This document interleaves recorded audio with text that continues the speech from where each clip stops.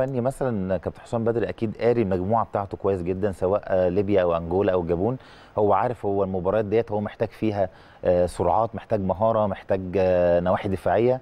خاص يعني خاصه في المباريات اللي هي زي ليبيا مثلا بره محتاج فيها شوية نواحي دفاعية وسرعات.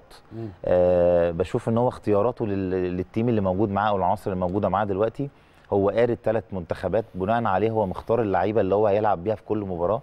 ممكن نلاقي بكرة في اختلاف في التشكيل ممكن تلاقي مباراة ليبيا بره في اختلاف في التشكيل آه فهو دارس أكيد الفرقة دي كويس جدا.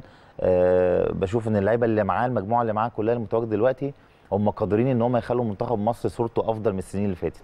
ما فيش لعيبة لفتت نظر كابتن محمود أو أنت قلت إزاي اللعيبة دي أو الأسماء دي ما ما, راحتش منتخب مع كابتن حسام؟ لا أنا بشوف إن هم يعني دولت افضل أفضل مجموعة ممكن تستحق إن هي تكون متواجدة الفترة ديت في في منتخب مصر. كل التوفيق لمنتخبنا إن بكره شاء الله.